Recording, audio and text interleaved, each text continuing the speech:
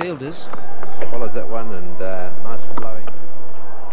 पाकिस्तान के सबक कप्तान सलीम मलिक उन क्रिकेटर्स में से हैं जिन्होंने अपने खेल की बदौलत दुनिया क्रिकेट में खूब नाम कमाया। सलीम के नाम से पहचाने जाने वाले सलीम मलिक ने हज़ारों की तादाद में रन स्कोर किए और अपनी क्यादत में टीम को कई फतुहात से हमकिनार किया। लेकिन ये सब कुछ उस लम्हे खाक में मिल गया, जब उन पर स्पॉट फिक्सिंग का इल्ज़ाम लगा और वो क्रिकेट से बैन होने वाले पहले खिलाड़ी बने। शानदार उरूज से बदतरीन जवाल का सफ़र तय करने वाले सलीम मलिक की कैरियर और जाती ज़िंदगी साथ साथ हम बताएँगे आज की इस वीडियो वीडियो में कि सलीम मलिक आजकल कहाँ और किस हाल में ज़िंदगी गुजार रहे हैं।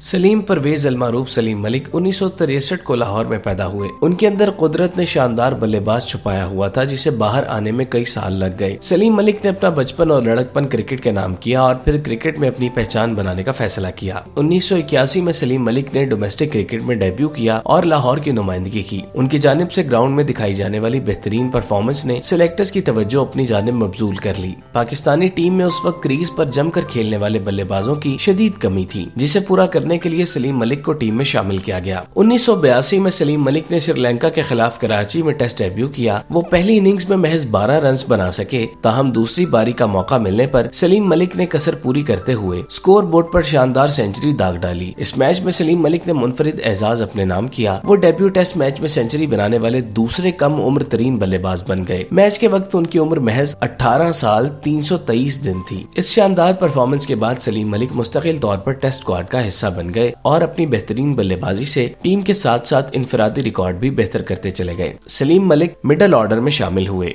जिसके वो बेहतरीन खिलाड़ी थे, जो विकेट के स्कोर पर शानदार तरीके से खेलते थे। और जब सेट हो जाते तो फिर उन्हें आउट करना गेंदबाजों के लिए मुश्किल हो जाता। उनके बल्ले पर लगने वाली हर बॉल का मुकद्दर चौका या छक्का होता। वो पल भर में स्कोर कार्ड की शक्ल और अपनी टीम की किस्मत बदल देते। बैट्समैन होने के साथ साथ सलीम मलिक गेंदबाजी से भी वाकिफ थे। उनके हाथों से निकलने वाली लीग स्पिन बल्लेबाजों को मुश्किल में डाल देती। उन्नीस में इंग्लैंड के खिलाफ टेस्ट मैच में सलीम मलिक सेंचुरी के ताकुब में महज निन्यानवे रन पर आउट हो गए, जिसका उन्हें शदीद रंज हुआ मगर उन्होंने अपना दिल छोटा नहीं किया And that's another four from walks across all में होने वाले दूसरे टेस्ट मैच में जब अंग्रेज़ बॉलर सलीम मलिक को आउट करने के लिए आए तो उन्होंने किसी की चलने न दी और अपने बल्ले से लाठी चार्ज करते हुए 102 रन स्कोर बोर्ड की जीनत बना डाले। सलीम मलिक की शानदार टेस्ट परफॉर्मेंस को मद्देनजर रखते हुए सिलेक्शन कमेटी की जानब से उन्हें वन डे स्क्वाड में शामिल किया गया। सलीम मलिक ने उन्नीस सौ बयासी में वेस्ट इंडीज के खिलाफ डेब्यू किया और इस फॉर्मेट में भी शानदार परफॉर्मेंस दी। सलीम मलिक उन बल्लेबाजों में से थे जो किसी भी प्रेशर में आए बगैर कंडीशन के मुताबिक क्रिकेट खेलते थे। वो न सिर्फ़ छक्के, चौके चौके लगाने पर कुदरत रखते, बल्कि सिंगल्स डबल्स भी खूब लेते। वो अपनी बैटिंग की वजह से किसी भी गेंदबाज को अपनी विकेट लेने का मौका फराहम नहीं करते थे। टेस्ट मैच खेलने की वजह से उन्हें लंबी इनिंग्स खेलने का तजुर्बा हासिल हो गया था, जिससे इस्तेफादा करने के लिए उन्हें कौमी स्क्वाड में शामिल किया गया था।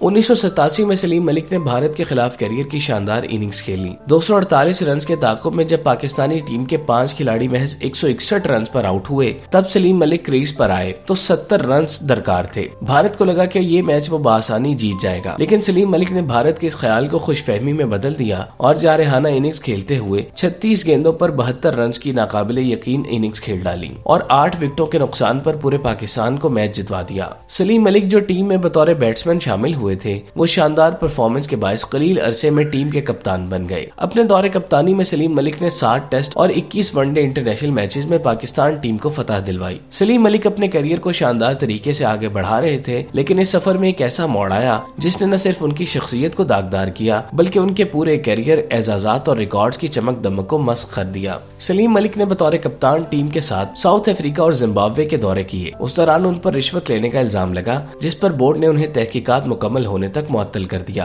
ताहम इल्ज़ाम गलत साबित होने के बाद वो दोबारा से क्रिकेट खेलने लगे। उन्नीस में सलीम मलिक ने अपने करियर का आखिरी टेस्ट मैच खेला और उसके बाद 2000 में मारूफ जस्टिस कयूम रिपोर्ट में सलीम मलिक पर ताहयात पाबंदी लग गई और यूँ एक शानदार खिलाड़ी का शानदार करियर इबरतनाक तरीके से तबाह हुआ। 2000 से 2008 तक सलीम मलिक अपनी बेगुनाही साबित करते और पाबंदी हटाने में मसरूफ रहे। उन्होंने उस दौरान कई इदारों का दरवाज़ा खटखटाया, लेकिन कहीं से उनकी दाद रसी न हुई। उस दौरान सबक क्रिकेटर्स की जानब ऐसी टीवी आरोप बैठ कर मैच फिक्सिंग के हवाले ऐसी एक दूसरे आरोप इल्ज़ाम लगाए जाने लगे। 2008 में लाहौर की मकामी अदालत की जानब ऐसी सलीम मलिक को रिलीफ मिला और उन पर पीसीबी की जानब ऐसी लगाई जाने वाली पाबंदी हट गई।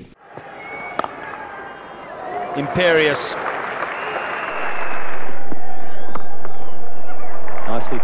पाबंदी हटने के कुछ दिनों बाद सलीम मलिक ने दावा किया कि पीसीबी की जानब से उन्हें नेशनल क्रिकेट टीम के साथ बतौर चीफ कोच काम करने की ऑफ़र हुई है। तहम पीसीबी की जानब से इस ऑफ़र की फिलफौर तरदीद की गई। 2012 में जब पीसीबी ने पाकिस्तान क्रिकेट टीम के लिए बैटिंग कोच का इश्तेहार दिया तो सलीम मलिक ने इस अहदे के लिए बतौर उम्मीदवार अपना नाम पीसीबी को भिजवा दिया, लेकिन वो इस अहदे के लिए सिलेक्ट न हो सके। सलीम मलिक ने क्रिकेट खेलने के बाद सियासत की इनिंग्स भी खूब खेली। दो हज़ार सात में उन्होंने मुस्लिम लीग काफ चौधरी परवेज इलाही ऐसी मुलाकात की और जमात में शामिल होकर अपनी मुकम्मल सपोर्ट का भरपूर यकीन दिलवाया। ये कदम उन्होंने उस वक्त उठाया जब वो ताहयात लगने वाली पाबंदी को खत्म करने के लिए सर तोड़ कोशिशें कर रहे थे। सलीम मलिक की जाती ज़िंदगी पर रोशनी डालें तो वो कराची में अपनी फैमिली के साथ मुकीम है और इंतहाई खुशगवार ज़िंदगी बसर कर रहे हैं। वो अपने करीबी दोस्त के साथ मिलकर बिज़नेस करते हैं। उनकी बेटी एमन सलीम शोबे से वाबस्ता है, जिन्हें गुजश्ता रमज़ान नशर होने वाला मकबूल तरीन ड्रामा चुपके चुपके में अदाकारी करते देखा गया। सलीम मलिक अक्सर और बेशतर टीवी पर दिखाई दिए।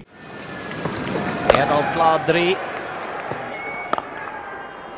Imperious match fixing और रिश्वत जैसे शर्मनाक इल्ज़ाम के बायस किसी तौर क्रिकेट की खिदमत नहीं कर रहे और न ही किसी लेवल पर उनकी खिदमत से इस्तेफादा किया जा रहा है। वो अपने दौर के बेहतरीन बल्लेबाजों में से थे। उनका डोमेस्टिक और इंटरनेशनल कैरियर शानदार है। वो पाकिस्तानी टीम की जानब से टेस्ट और वनडे में छह हज़ार रन करने वाले चंद एक खिलाड़ियों में शामिल होते हैं। इसके अलावा फ़र्स्ट क्लास और लिस्ट ए क्रिकेट में उन्होंने मजमू तौर पर अट्ठाईस हज़ार रन बनाए, जिनमें पचपन सेंचुरियाँ और एक सौ उनसठ टेस्ट सेंचुरियाँ शामिल है, जो की बिलाशुबा नाकाबिल फरामोश रिकॉर्ड है और ऐसा रिकॉर्ड पाकिस्तानी क्रिकेट की तारीख में चंद खिलाड़ियों का ही रहा है। सलीम मलिक अगर मुस्तकिल तौर पर पाकिस्तान की जानब से खेल जाएँ तो आज उनका वनडे और टेस्ट क्रिकेट में मुनफरद रिकॉर्ड कायम होगा। अगर सलीम मलिक ये सब कुछ ना करते तो इस वक्त पीसीबी में किसी बड़े अहदे पर फायज होते या फिर पीएसएल की किसी फ्रेंचाइज के साथ बैटिंग कंसल्टेंट के तौर पर दिखाई देते। मगर उनकी राह में मैच फिक्सिंग और रिश्वत के बड़े पत्थर आ पड़े, जिसने उनके करियर को औंधे मुँह गिरा दिया और सलीम मलिक को रसवाई और जिलत के गढ़े में गिरा दिया। Nicely timed. Came in, but look at this, just follows that one and. Uh